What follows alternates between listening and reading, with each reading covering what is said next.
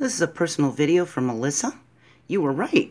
You moved the decimal place over two spaces to get rid of that decimal point. And because we move it over two spaces here, we have to move it over two spaces here. So you have 24,300. So you were on the right track. So what we did was we asked ourselves, how many times could this 225 fit into 243? It can't fit into 2, it can't fit into 24, but it can fit into 243 one time. And 225 times 1 is 225. Now when I teach other people how to do long division, I tell them to go like this and put an x there to remind yourself that you're multiplying this whole thing. And 1 times 225 is 225. We do our subtraction, we get 18, and now it's the zero's turn to come down. 225 can't go into 180. It goes in zero times. That's when we put the zero above the zero that we dropped down. Then we do 0 times 225, and we get 0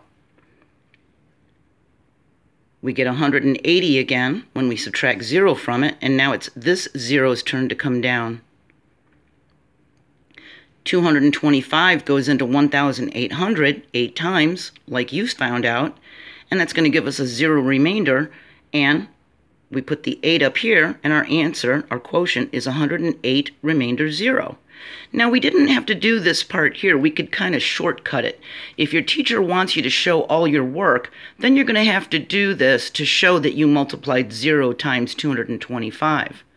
We could have just done this. We could have dropped the 0 and said 225 can't go into 180 and then just dropped the other 0 and just cut it short. So if you're at work and you're trying to figure this out because you're trying to figure out something, you know, for math at your job or something, you can just do it real short and quick like this, but your teacher probably wants you to spell it all out.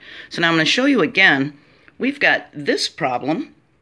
8 goes into 24. It can't go into 2, but it can go into 24 three times evenly. Well, that's going to give us a 0. And now it's the 3's turn to come down, isn't it?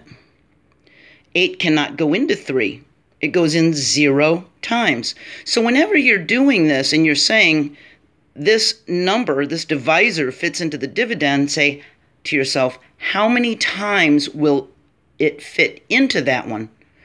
Zero. It fits in zero times. So we're going to put a zero above the three that we dropped down because it fits in zero times. And zero times eight is zero. We do our subtraction and the three comes down and now it's the 2's turn to come down. Eight can go into 32 four times evenly. That's going to give us a zero again. We drop down our one how many times can 8 fit into 1? Zero times. 8 times 0 is 0. We do it again, and we drop down our 1 from our subtraction, and now it's the 6's turn to come down. 8 goes into 16 two times, and because we drop down the 6 here, that's where the 2 goes. And 8 times 2 is 16. We do our subtraction, and we get a 0 again. Now it's the 4's turn to come down. How many times can 8 fit into 4? Zero times. So we do the 8 times 0, we get a 0 again. Now we drop down the 0, and we get a 40. 8 fits into 40 five times. So whenever you get to that point where it can't fit in, that's where the 0 comes in. See? So I hope this was helpful, and keep up the good work. You were on the right track, okay? I'm proud of you for trying. Bye.